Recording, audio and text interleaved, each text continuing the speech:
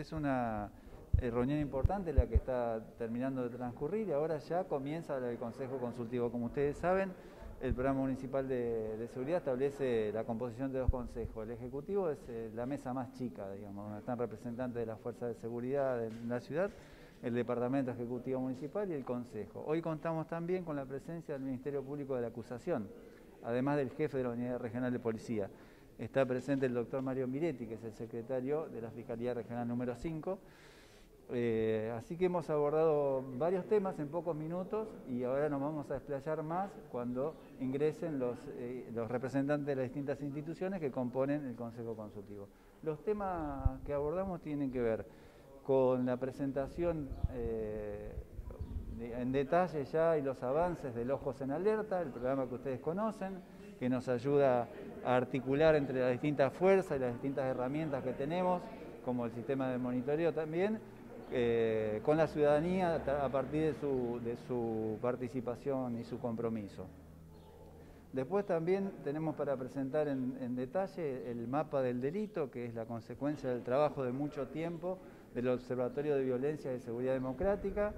Es un, eh, es un mapa de la ciudad donde están señalados los distintos lugares donde se cometen los hechos, por, eh, clasificados según si se trata de, comercios, eh, de, vivienda, de qué tipo de delito. Es decir, hay varias capas que son posibles filtrar a la hora de la búsqueda de información para trabajar en, esclarecer y luego en prevenir también en los lugares donde más hechos ocurren y, estas cosas. Después también hemos abordado la composición de una mesa multiagencial. nosotros hemos recibido en estos días eh, luego de, que hiciéramos este, alguna consulta con el doctor Vigo, recibimos una nota de él proponiéndonos la conformación de la mesa multiagencial. La mesa multiagencial es un espacio de articulación entre eh, lo provincial y lo local, entre la fuerza de seguridad y eh, el Ministerio Público de la Acusación. En ese espacio de confianza se comparte información en relación a distintos casos en la búsqueda de, la solución. Justamente estábamos hablando recién, yo le, hacía consultas específicas al doctor Miretti, eh, en el sentido de que eh, si el objetivo central de, la mesa multiagencial es eh, el encarcelamiento de la, persona, y él me decía que quizás esa es la última instancia, la última alternativa del mismo derecho penal inclusive. Entonces, en esa mesa se va a, compartir la información que hoy en día tal vez va en paralelo para tratar de abordar los casos y buscar eh, la mejor solución para esa persona y para la comunidad.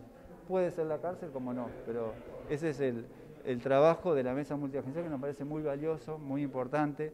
También compartimos la información de que tenemos este, un móvil más para la Guardia Urbana que ha sido cedido eh, por el grupo Sancor Seguros, que nos permite esto trabajar de mejor manera.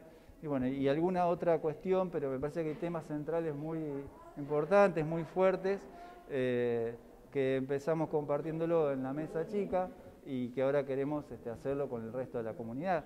Eh, entre otras cosas, también hablamos de, la carrera policial y la necesidad de promocionarla en, nuestra región, eh, siendo que hay muy pocas personas del departamento castellano y de Sunchales en particular que se inclinan por la carrera policial. ¿Cuál es eh, la experiencia de Ojos en Alerta que recién lo mencionó con respecto fundamentalmente a un punto que es la coordinación de las distintas fuerzas, organismos que están involucrados en ese programa? Bueno, la, experiencia está siendo muy buena en el sentido de que estamos eh, sumando eh, de manera muy responsable a distintos vecinos que se van comprometiendo con, el uso del programa y, y la respuesta también es buena en la medida de las posibilidades. La, la va a estar, va a estar siempre eh, eh, respondiendo porque nosotros tenemos un esquema de trabajo, tenemos recursos, tanto sea materiales como humanos, como para dar respuesta. Y bueno, la idea es que esté también la policía, ellos este, se hacen responsables, ellos se suman al programa, pero a, veces no van a disponer de todos los recursos, ¿no? pero es importante que ellos voluntariamente se sumen al programa también, porque como como se sabe, nosotros no tenemos la facultad de exigirle. Sin embargo, eh, como lo relataba recién, la coordinación con la fuerza policial es casi óptima. Ahí nuevamente está con nosotros reunidos el jefe de la unidad regional, eh, con quien tenemos diálogo permanente. Así que eh, viene funcionando bien y tenemos, tenemos expectativa de que, de que funcione este, muy bien cuando haya más vecinos que estén sumados al programa. Lo que pasa es que somos nosotros los que no queremos acelerar el proceso, lo vamos haciendo paso a paso y vamos dando capacitaciones a grupos de vecinos reducidos para que eso pueda para que realmente la capacitación pueda llegar como nosotros pretendemos, ¿no es cierto? Así que tenemos incluso para compartir algunas imágenes de, cómo en, la práctica funciona, cómo arriban al, lugar del hecho, eh, la Guardia Urbana, la policía, cómo se resuelven los casos, eh, con imágenes reales de nuestro sistema de, biovigilancia. Hoy Gustavo Quiroga confirmaba la presencia del GOT en Sunchales, que en algún momento estuvo en duda a raíz del vencimiento de alquiler del inmueble que ocupan. ¿Qué grado de avance tiene el proyecto de construir una base propia donde alguna vez funcionó la Guardia Canina? Ah, bueno, eh, eso es este, una de las alternativas que estamos barajando. Si nosotros podemos confirmar la continuidad de la presencia de GOT en Sunchales, estamos buscando la mejor alternativa para eso, porque como bien decís, vence el contrato de alquiler. Hoy en día la GOT está en el barrio Colón.